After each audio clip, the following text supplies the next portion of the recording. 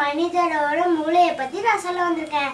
வாங்க வீடியோக்குள்ள போகலாம் நம்ம உடம்புலயே ரொம்ப முக்கியமான பாட்டு எதுனா அது மூளை தான் ஏன்னா நம்ம மூளையை ஆராய்ச்சி பண்ணும்போது கூட நம்ம மூளை தான் யூஸ் பண்றோம்.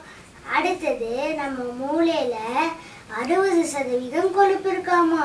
அடுத்தது நம்ம மூளை வந்து எப்பவுமே யோசிச்சே ஒரு நாளைக்கு எழுபதாயிரத்துக்கும் மேலான விஷயங்களை யோசிக்குதாம்மா. அடுத்தது நம்ம மூளையோட உருவம் மாறவே மாறாதாம்மா. பிறக்கும் போது எப்படி இருக்கோ அது கடைசி வரைக்கும் அப்படியே தான் இருக்குமாம்மா. அடுத்தது நம்ம மூளை எப்பவுமே ரெஸ்ட் இருக்காதாம்மா அது காலையில விட நைட்டு தான் ரொம்ப அதிகமாக செயல்படுமாம்மா. அடுத்தது நம்ம மூச்சை விடுறதும் இதயம் துடிக்கிறதும் மூளை தான் கட்டுப்படுத்துதாம்மா. அடுத்தது மூளைக்கு வலியே தெரியாதாம்மா. ஏன்னா நம்ம மூளைக்கு வழி நண்பர்களே இல்லையாம்மா.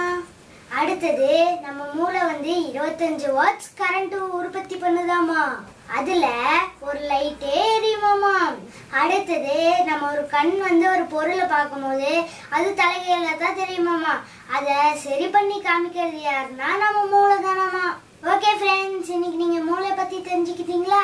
நாளைக்கு நான் வேற ஒரு முக்கியமான விஷயத்தோட உங்களை சந்திக்கிறேன். பாய்